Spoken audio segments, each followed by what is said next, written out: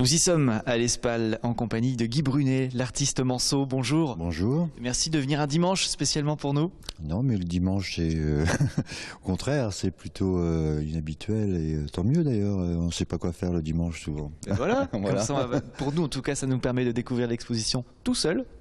Oui, enfin voilà, donc c'est une exposition qui a démarré il y a, très peu de temps en fait. Donc voilà, je suis revenu deux trois fois et en fait je la redécouvre un petit peu à chaque fois. Donc sous des lumières différentes. Enfin voilà.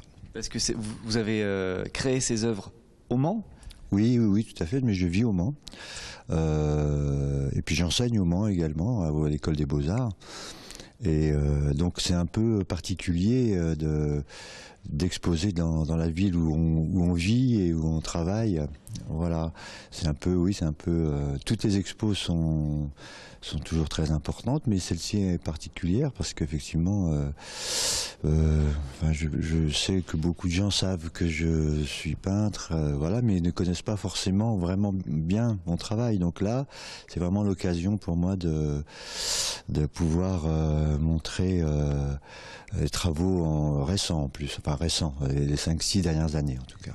Certaines œuvres ont été vendues et, les, acquéreurs ont eu la gentillesse de vous les prêter à nouveau pour l'exposition. Voilà, exactement. Et je, les remercie d'ailleurs parce que c'était important pour moi de pouvoir montrer euh, des ensembles euh, voilà, suffisants.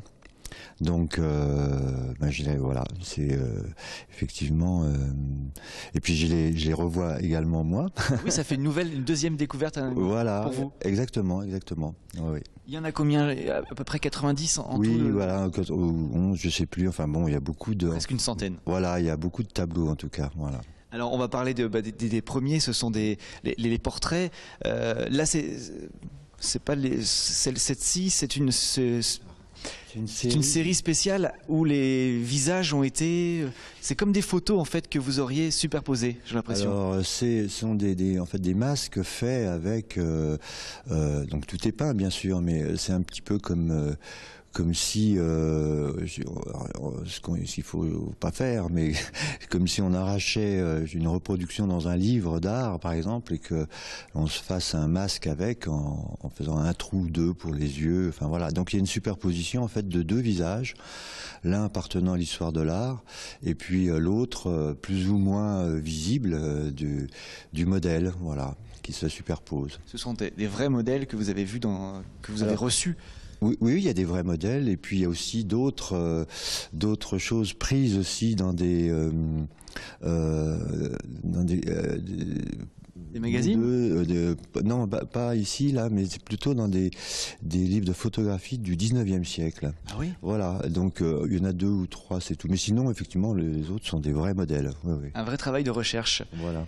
Ah bah là, la remue à repérer, c'est l'œuvre qui a servi pour l'affiche. Oui, tout à fait, voilà. Alors là, le masque est, euh, euh, il y a deux versions d'ailleurs. Deux versions, elles se ressemblent. Voilà, deux versions et euh, une plus petite, une plus grande. Là, il y a deux, on voit les deux yeux du, du modèle, de mon modèle, qui est en, en, en plus ma fille. Ah oui, d'accord. voilà. Elle a eu le temps de se changer entre les deux. Voilà. Et, euh, et, le masque, c'était une peinture euh, très très célèbre de Gustav Klimt. Alors pour moi, c'était le défi, c'était un petit peu justement de comment encore euh, se servir de cette de cette image de cette Judith. En fait, c'est une une Judith très très très connue. Voilà.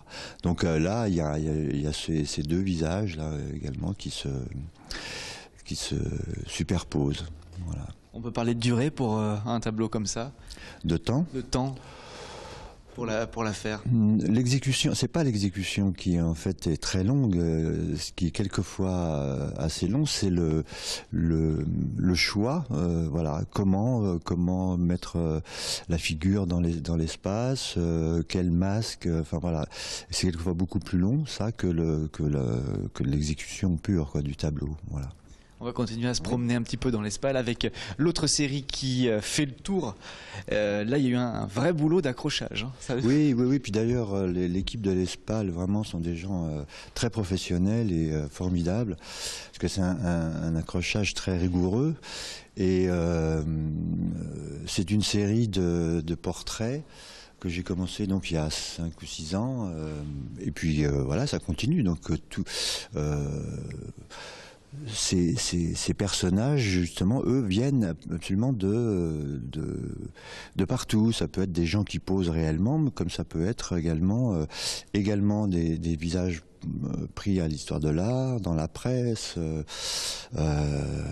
sur des photographies que je que je ne cherche pas. Ça une chose importante, c'est que euh, je ne vais pas euh, feuilleter des tas de bouquins pour trouver des têtes ou euh, voilà, mais ça peut être quelqu'un qui vient poser.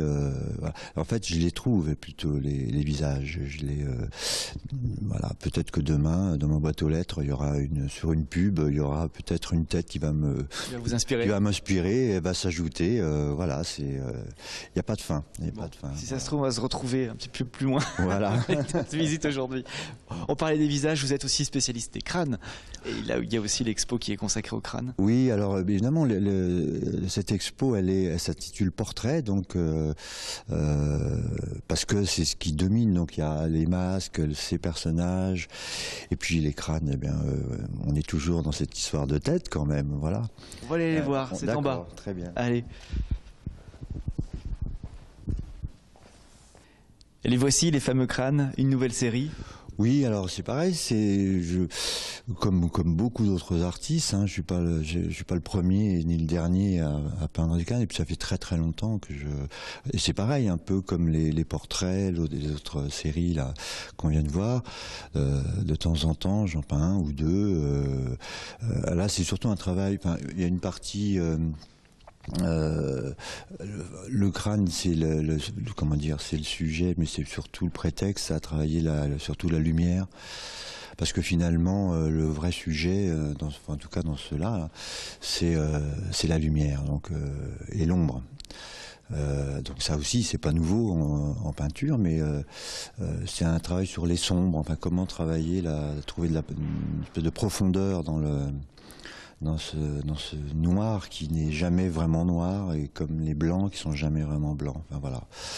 Et, euh, et on reste aussi, euh, évidemment, euh, cette espèce d'effigie extrêmement, moi qui m'a toujours fasciné, le crâne, le crâne humain. Celui-là, il est humain, mais je crois aussi que le comment dire, le, squelette en général, que ce soit humain ou d'animaux, etc., c'est toujours aussi très fascinant puisque c'est une structure. Donc, euh, euh, c'est toujours à, peindre ou à dessiner, c'est toujours extrêmement, euh, comment dire, passionnant. C'est et, on vous parlait de, de, profondeur et de relief euh, tout à l'heure. Euh, le tableau euh, le plus grand là au milieu, on a vraiment l'impression qu'il est en relief, que c'est une sculpture. Oui, alors c'est un, ce qu'on appelle une grisaille en fait, c'est-à-dire que c'est peint d'après un, bas-relief de Pierre Puget qui se trouve au, Louvre. Et alors là, c'est effectivement euh, alors je, peins également des grisailles assez régulièrement, j'aime beaucoup ça, c'est-à-dire l'absence de couleur et uniquement donc sur l'ombre et la lumière et qui donne cette sensation de qui imite le, relief, c'est presque un trompe-l'œil en quelque sorte. Alors, il a sa place là parce que aussi euh, le, sujet étant euh, euh, le philosophe dont je me souviens plus du nom. ah, je pourrais pas vous aider là-dessus. qui est très célèbre et qui vit dans son tonneau là et, euh, et l'empereur qui euh, qui veut l'aider en fait l'autre qui refuse euh, donc la vanité parce que on revient au terme de vanité par rapport au crâne c'est-à-dire qu'en fait l'existence est tellement fragile et tellement, ça peut basculer voilà du jour au lendemain ou d'une minute à l'autre enfin voilà cette espèce de de réflexion sur le sur le temps et sur la vie en général. C'est-à-dire empereur qui, euh, qui est sûr de son pouvoir et qui en fait euh, euh, se fait remettre à sa place par un clochard. C'est la représentation ici. Voilà. On va passer à Allez, on va encore continuer un tout petit peu. On va pas tout nous montrer parce que le but, c'est bien sûr de venir à l'Espal. Bien sûr, bien sûr. Le lieu de l'exposition se prête bien aussi au tableau.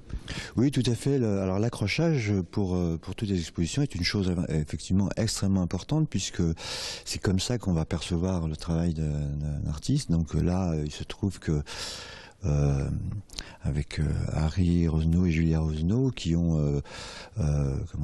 qui connaissent bien leur lieu et et je crois qu'ils ont vraiment su. On était, euh, voilà, on a travaillé ensemble et euh, ils connaissent leur euh, leur lieu bien sûr beaucoup mieux que moi. Donc l'accrochage en fait s'est fait d'une manière assez naturelle. Donc et puis parce que il y a aussi cette lumière du, enfin aujourd'hui par exemple, cette lumière du jour qui est qui est vraiment moi que je, c'est celle que je préfère en fait, puisque la il y a les nuages qui cachent. Euh, voilà, qui... il y a une espèce de, de, ton. Enfin voilà, il y a une lumière une naturelle. Et puis le soir, par contre, il y a un éclairage qui a été également euh, très travaillé euh, par les techniciens de, de l'ESPAL, qui fonctionne aussi très très bien. Mais voilà, donc je dois dire que là, les conditions sont idéales. Sont idéales, exactement. Votre dernière exposition, c'était à l'hôtel de ville il y a quelques années? au Mans, voilà. c'était enfin au Mans, Mans oui, la, du Mans. Voilà, du Mans, c'était là. Donc il y a 5-6 ans. Et donc, à part quelques tableaux, euh, euh, très peu, mais donc euh, ceux qui sont accrochés ici sont donc voilà les, portraits notamment. J'avais à, la mairie accroché les trois premiers, je crois. Et donc voilà, et la suite est là, voilà. Que l'on découvre jusqu'au 30 mars. Jusqu'au 30 mars, oui, c'est ça. On vient à l'Espal un peu quand on veut, bien sûr pendant les horaires d'ouverture. Oui, oui, tout à fait. Et on se promène librement. Voilà. Et puis c'est aussi un lieu de spectacle, donc il y a aussi euh, euh, toute une comment dire euh, des, des, amateurs du théâtre vivant et de la danse, etc., qui aussi pourront voilà profiter profiter de cette expo. Eh merci infiniment, Guy Brunet. Merci à vous. On le répète, donc jusqu'au 30 mars. À bientôt. À bientôt. Merci et au plaisir de vous revoir au Mans. Nous allons continuer notre infiltré du dimanche. Un petit peu plus loin, nous allons danser maintenant. Rendez-vous avec un thé dansant. Thank you.